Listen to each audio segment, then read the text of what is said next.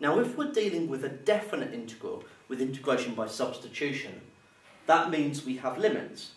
And so that adds an extra layer of complexity to the problem. So let's see exactly where things have to change. If we're starting with u is equal to x minus 5, then I find du by dx first. So du by dx will be equal to 2. Then you can rearrange that to get dx is equal to 1 half du. So I now have a replacement for 2x minus 5, and I have a replacement for dx, which initially appears to be all the substitutions that I need to make. The problem is that I'm integrating on the x-axis between 1 and 2. Okay? So there's 1, there's 2. But I'm not actually working with the x-axis anymore. I've made a substitution. I'm now working with the u-axis. And so, I'm not going to be working with 1 and 2 anymore. I need to change the limits.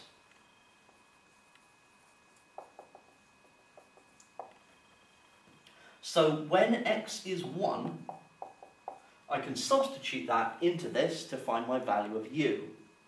So when x is 1, I get 2 take away 5, so that's minus 3.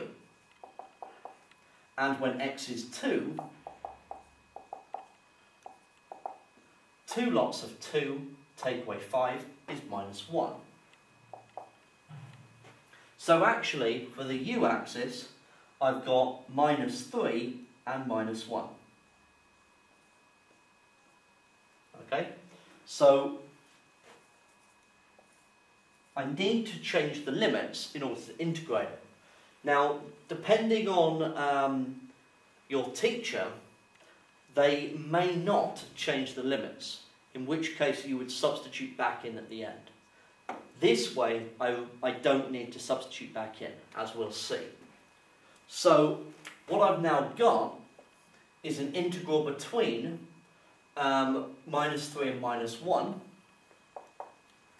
where I've now got u to the 4, and dx was replaced with 1 half du. So I can pull the half out the front,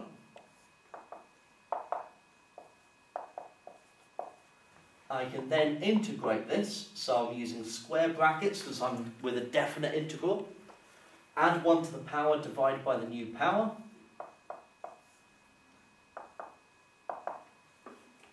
Okay, now I can bring that half inside if I like. Now, now it's at this stage where, depending on whether you've changed the limits or not, if you haven't changed the limits, then you can substitute u back in.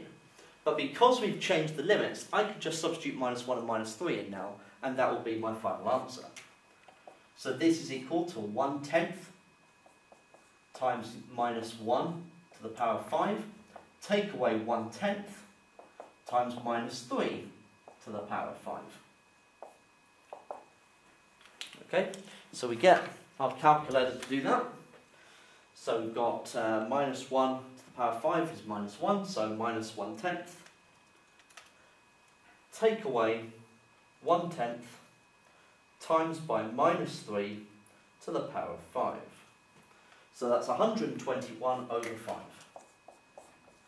And that is my final answer. So the changing of the limits stops you from having to substitute back in at the end, and I feel is actually quicker because of it. We're going to go through some examples in the next few videos